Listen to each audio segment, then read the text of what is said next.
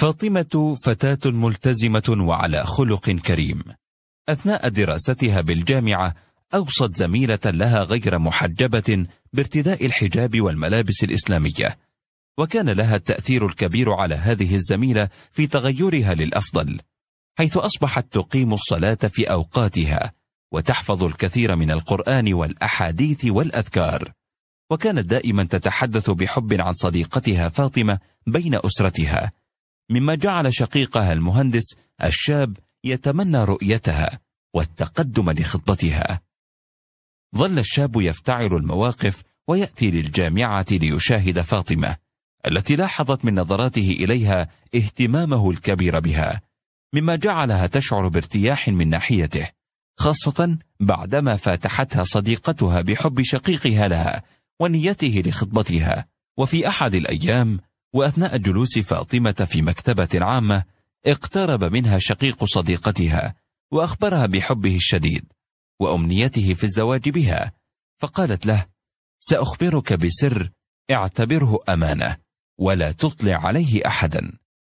وبعد أن وعدها الشاب بحفظ الأمانة قالت له أنا مصابة بمرض السكر ففكر في الأمر وسأنتظر ردك غدا وتذكر حديث الرسول صلى الله عليه وسلم الراحمون يرحمهم الرحمن ارحموا من في الأرض يرحمكم من في السماء.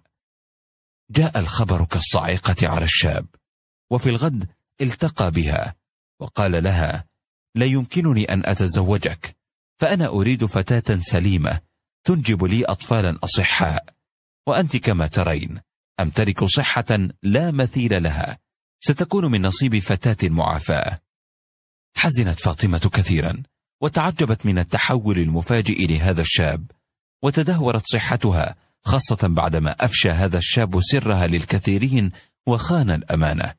إن الله يأمركم أن تؤدوا الأمانات إلى أهلها.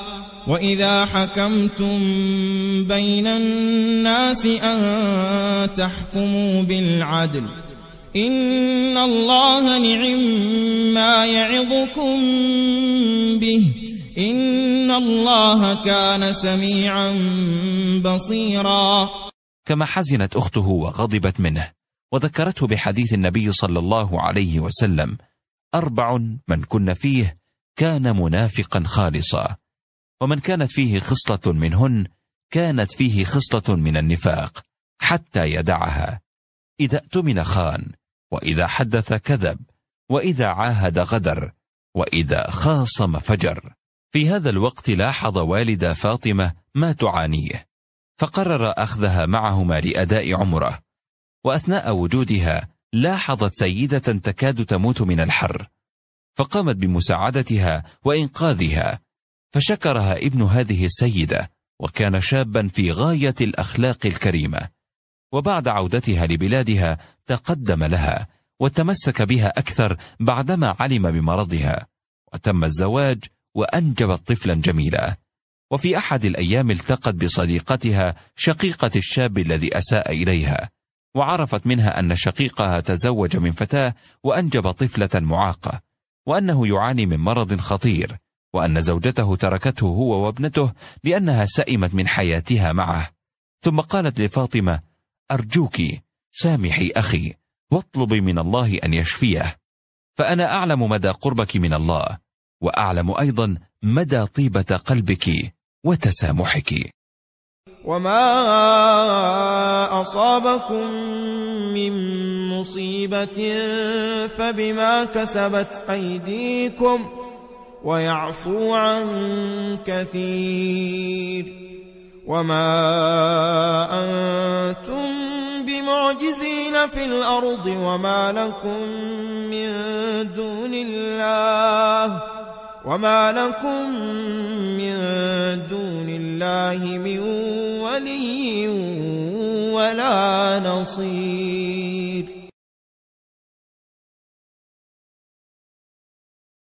طبيب شاب عرف عنه الصلاح والتقوى. أثناء دخوله صباحا بوابة المستشفى التي يعمل بها رأى رجلا مسنا ضعيف النظر وبصحبته امرأة عجوز مقعدة على كرسي متحرك. وكان يبدو أنهما ينتظران أحد. ولما أنهى عمله بعد المغرب تفاجأ بأنهما لا يزالان في نفس المكان وعلى وجوههما آثار القلق والخوف. فاقترب منهما. وعلم أنهما في انتظار ابنهما الذي ذهب ولم يعد ولسانهما لا يكف عن الدعاء له بالسلامة. وأثناء وجود الطبيب بجوارهما توجه العجوز للكافاتيريا المجاورة فذهب الطبيب إليه كي يساعده. فوجده يريد زجاجة ماء وصعق حينما علم أنه لا يمتلك أي نقود. فاستأذنه الطبيب كي يشتري له الماء فوافق على استحياء. فاشترى لهما طعاما وزجاجات ماء كثيرة. وقبل أن يغادرهما الطبيب أعطته السيدة المقعدة ورقة قالت أن فيها رقم ابنها وطلبت منه الاتصال به حتى تطمئن عليه وتعرف سبب تأخره. أخذ الطبيب الورقة فلم يجد سوى خمسة أرقام فيها فقال للسيدة يا أمي للأسف هذا الرقم غير صحيح. فانتفضت السيدة من مقعدها وقالت كيف هذا؟ لقد أعطاني بني هذا الرقم وذلك الجوال كي أتصل عليه في حال غيابه. أخذ الطبيب الجوال من يدها فإذا به هاتف قديم لا يوجد به شريحة ولا شحن.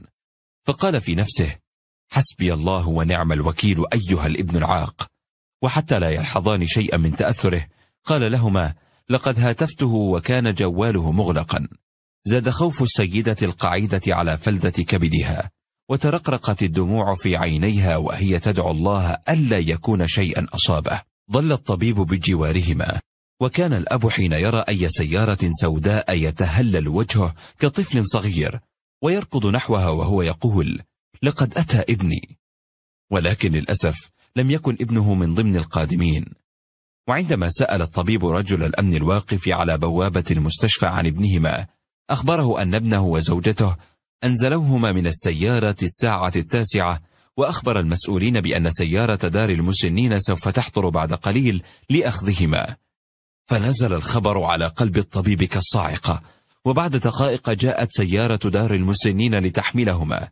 وقبل أن تصل إلى الأب وزوجته أخذهما الطبيب في سيارته وقرر رعايتهما هو وزوجته في بيتهما.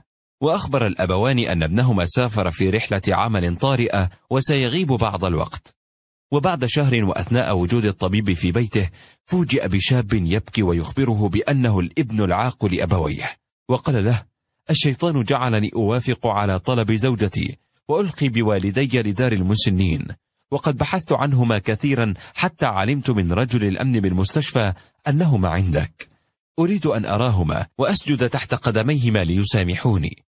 لقد خسرت كل شيء ومرضت زوجتي بعد عقوقي لهما. وقد صدق رسول الله صلى الله عليه وسلم حينما قال ملعون من عق والديه. شعر الطبيب بصدق كلام الابن وصدق توبته فأخبره بأن والديه لا يعلمان شيئا عن دار المسنين وعليه أن يخبرهما بأنه عاد من رحلته لأخذهما لبيتهما.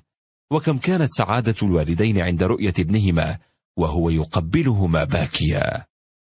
يا أيها الذين آمنوا اتقوا الله ولتنظر نفس ما قدمت لغد واتقوا الله.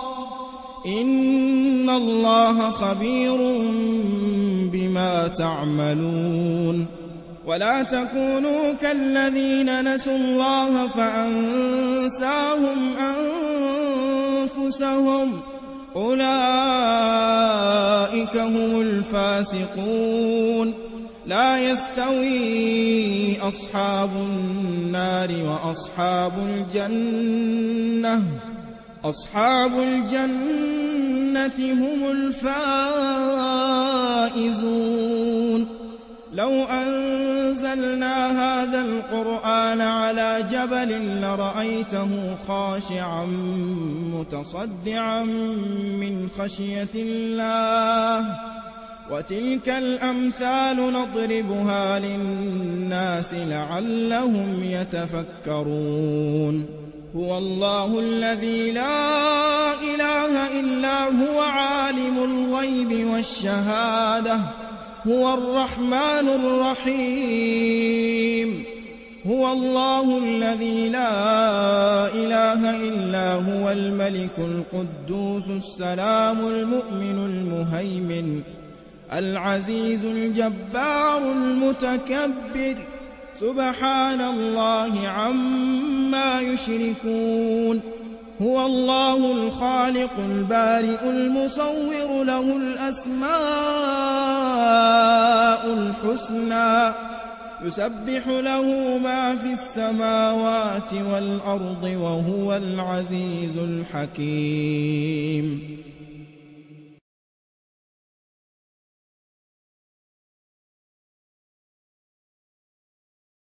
فاطمة فتاة ملتزمة وعلى خلق كريم. أثناء دراستها بالجامعة أوصت زميلة لها غير محجبة بارتداء الحجاب والملابس الإسلامية. وكان لها التأثير الكبير على هذه الزميلة في تغيرها للأفضل حيث أصبحت تقيم الصلاة في أوقاتها وتحفظ الكثير من القرآن والأحاديث والأذكار. وكانت دائما تتحدث بحب عن صديقتها فاطمة بين أسرتها مما جعل شقيقها المهندس الشاب يتمنى رؤيتها والتقدم لخطبتها ظل الشاب يفتعل المواقف ويأتي للجامعة ليشاهد فاطمة التي لاحظت من نظراته إليها اهتمامه الكبير بها مما جعلها تشعر بارتياح من ناحيته خاصة بعدما فاتحتها صديقتها بحب شقيقها لها ونيته لخطبتها.